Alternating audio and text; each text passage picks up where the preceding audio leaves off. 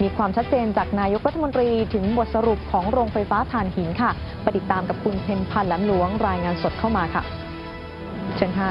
ค่ะคุณนัทอาภาค่ะนายกรัฐมนตรีนั้นนะคะ สั่งให้เดินหน้าสำรวจวิเคราะห์ผลกระทบด้านสิ่งแวดล้อมและสุขภาพทั้ง EIA แล้วก็ EHIA นะคะ จากที่ชะลอไปก่อนหน้านี้นะคะ โดยให้คณะทำงานทั้ง 3 ฝ่ายนั้น แล้วก็ประชาชนเข้าไปมีส่วนร่วมด้วยนะคะ ไปฟังคำชี้แจงเรื่องนี้จากนายกรัฐมนตรีกันค่ะ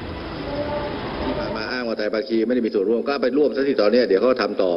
ก็ไปคุยกันนะทำได้คือได้ไม่ได้ก็ไม่ได้ ก็ต้องไปหาวิธีการว่าจะทำยังไง เพราะรัฐบาลก็มีหน้าที่ในการจัดหาพลังงานแหล่งพลังงานให้กับประเทศ ถ้าทำไม่ได้มันก็ไม่มีไฟฟ้าใช้ในอนาคต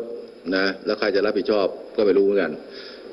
แต่ก็อย่าไปเขียนว่าผมเนี่ยเพราะให้อย่างนี้เพราะผมอยากจะสร้างจะสร้างก็ไม่สร้างก็ไม่ใช่เรื่องของผม ที่ผมจะได้ประโยชน์ แต่ประเทศได้ประโยชน์เข้าใจป่ะ ผมทำอันนี้ทำเพื่อคนไทยทำเพื่อประเทศไทย ไม่ได้ทำเพื่อตัวเองทำเพื่อตัวเองผมไม่ทำหรอกไม่เข้ามาหรอก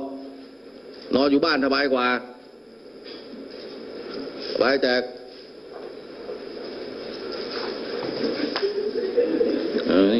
แสดงว่าไม่เรื่อง นายกรัฐมนตรีบอกด้วยนะคะว่าหากสามารถเดินหน้าก่อสร้างโรงไฟฟ้าถ่านหินได้นะคะ ก็จะสามารถใช้งานได้ประมาณปี 2566 ถึง 2567 นะคะ แต่ว่าถ้าเกิดไม่สามารถสร้างได้นั้น ประชาชนก็ต้องแบกรับกับการใช้พลังงานที่ราคาสูงขึ้นค่ะคุณนัทอาภาค่ะ